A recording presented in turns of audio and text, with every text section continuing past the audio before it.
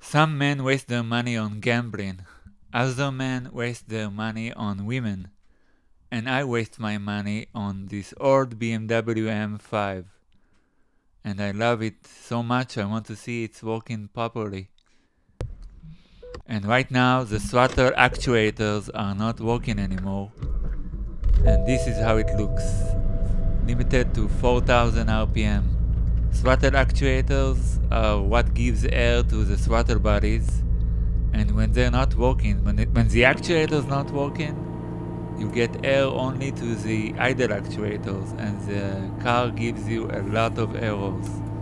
Engine malfunction, increased emissions is another problem, but this is the engine malfunction error, which means you have a lot less power, you can barely drive the car.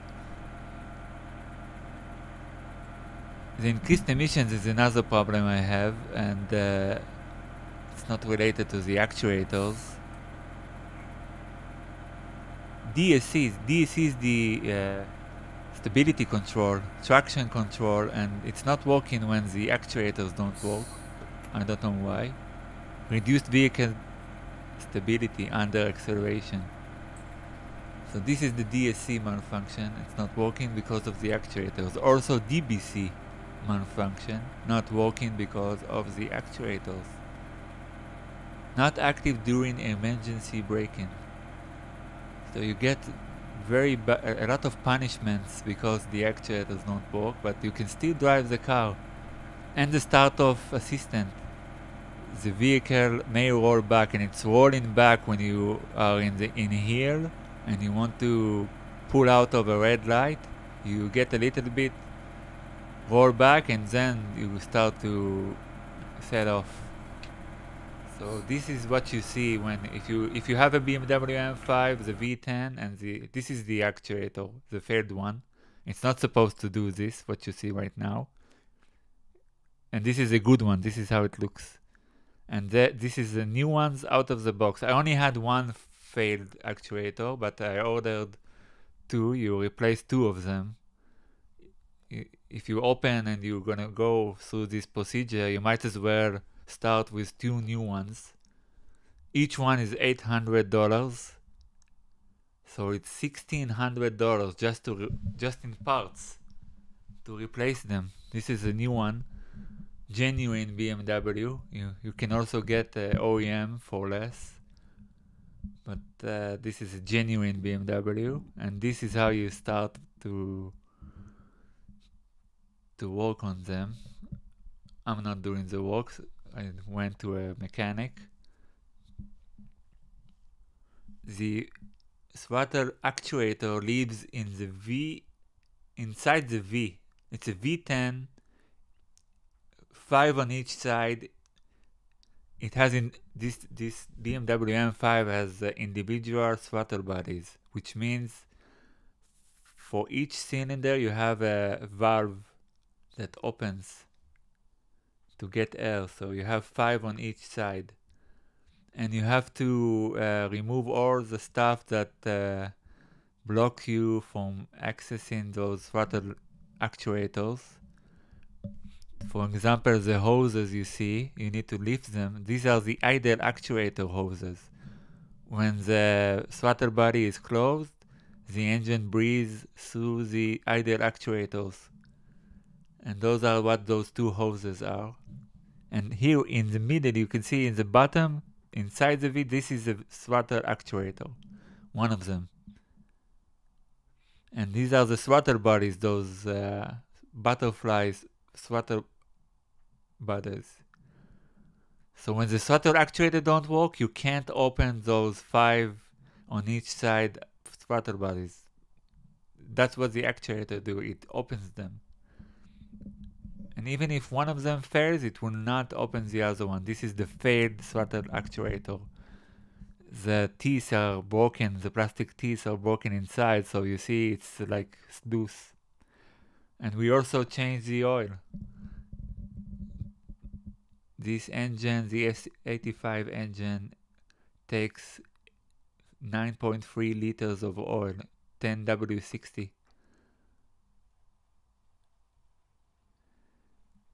The oil helps uh, keeps the engine lubricated and uh, cool.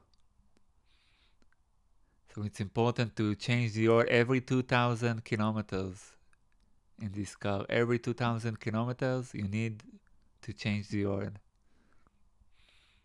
And uh, because of what you saw before, the increased emissions and the problems I have, I also hear the front wheel you have a fuel pressure sensor. I'm gonna change that. The fuel pressure sensor is right there in the electrical connection. Maybe that would help me with uh, fuel problem, fuel efficiency, fuel uh, pressure problem. Maybe the sensor is bad. And this is uh, the canister for the vapors of the fuel on in the back wheel. We changed that also. And this is the car going for a test drive. How beautiful this car is. The V10 M5.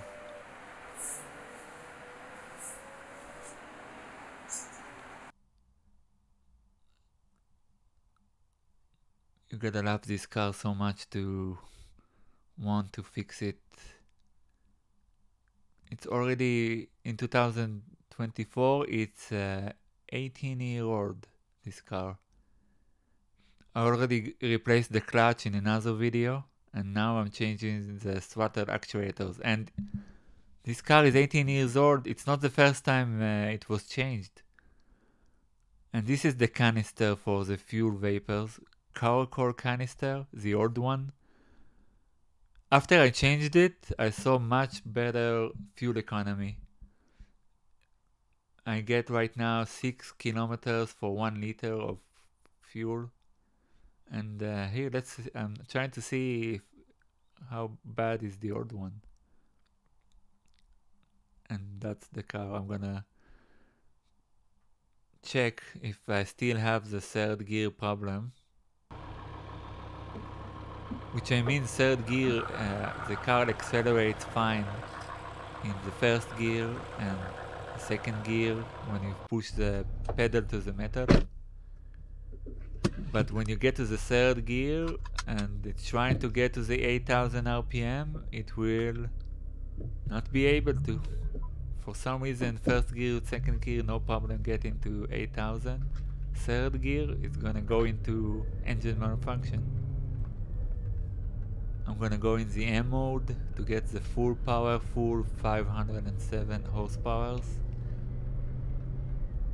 and when you're driving slowly there's no problem you can go through all the gears and you will not see any issue.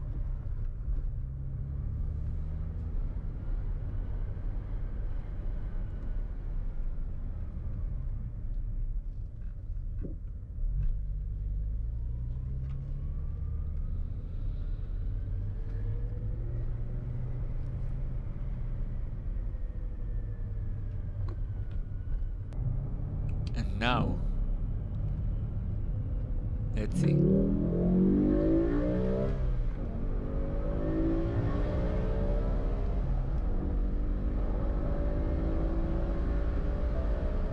No. You see, the if you look at the rev counter, there's a red circle around it, and it's now limited to 7,000 because fuel pressure issue. So someone on YouTube gave me a comment, told me he also had this problem, and they said that to, we need to to change the fuel pump controller or something like that. This is the comment, a EKP module. Thank you, I will try, this is the part, $280 and I will make another video after I replace it. And if it's interesting for you please subscribe to my channel. Give me a like. And I will make another update. Thank you for watching. Subscribe